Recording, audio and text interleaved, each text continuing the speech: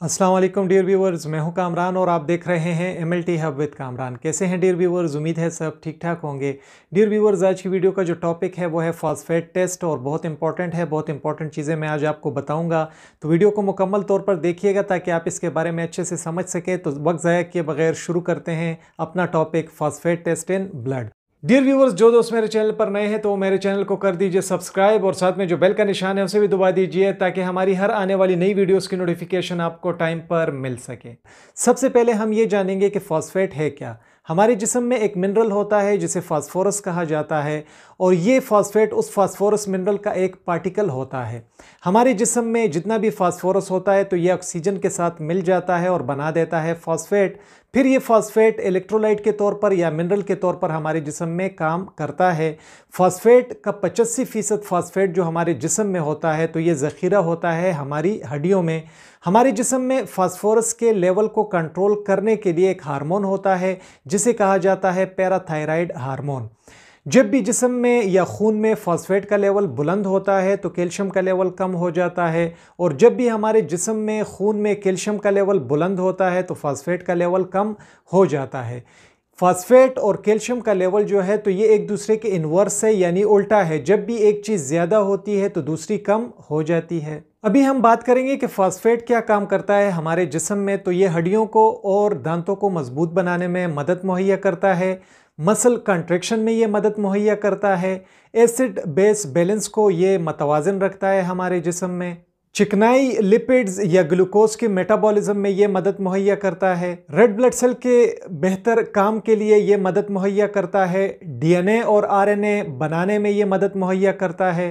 Nerve function को बेहतर बनाने में ये मदद मुहैया करता है और हमारे जिसम में खून के पीएच को मतवाजन रखने में भी ये मदद मुहैया करता है।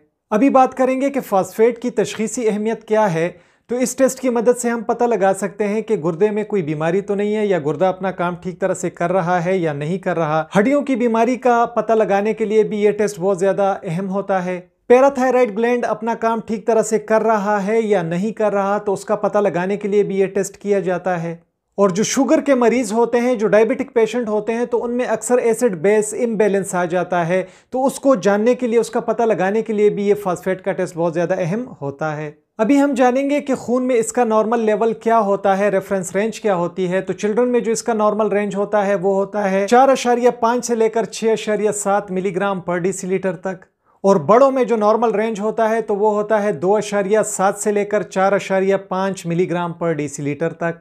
अभी हम बात करेंगे कि फॉस्फेट टेस्ट के लिए खून का नमूना किस बोतल में लिया जाता है तो तीन से पाँच एम का ब्लड लिया जाता है ग्रीन टॉप ट्यूब में रेड टॉप ट्यूब में या जेल ट्यूब में सेंट्रीफ्यूज किया जाता है सीरम को निकाला जाता है और फिर एडवांस मशीनरी पर इस टेस्ट को रन किया जाता है। अब हम उन वजूहत पर बात करेंगे जिसमें खून में फॉस्फेट का लेवल बुलंद हो जाता है और जब भी खून में फॉस्फेट का लेवल बुलंद होता है तो इस हालत को कहते हैं हाइपर जिसकी वजह है किडनी अगर फेल हो जाए किडनी इंजरी या अगर दिल की बीमारियाँ हों ऑस्टियोपोरोसिस या फिर अगर वाइटामिन डी का बहुत ज़्यादा इस्तेमाल किया जाए हाइपोपैराथायराइडिज्म में हाइपोकेल्सीमिया में बोन मेटास्टेसिस में एक्रोमिगेली में एडिसन की बीमारी में या अगर टिश्यू डैमेज है सिकल सेल इनीमिया में या फिर बोन ट्यूमर्स में।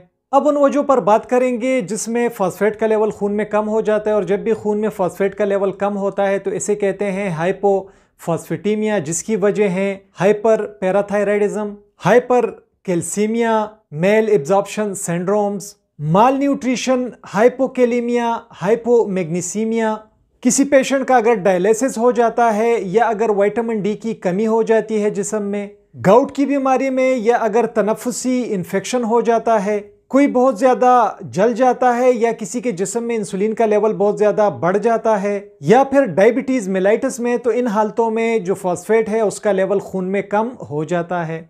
बहुत ज़्यादा शुक्रिया M L T hub with Kamran को देखने के लिए। उम्मीद है ये लेक्चर आप लोग को पसंद आया होगा। अगर पसंद आया हो तो वीडियो को लाइक कीजिएगा, अपने दोस्तों के साथ शेयर कीजिएगा। हमारे channel M L T hub with Kamran को सब्सक्राइब कीजिएगा। अपना ढेर सारा ख्याल रखिएगा। अल्लाह हाफिज़।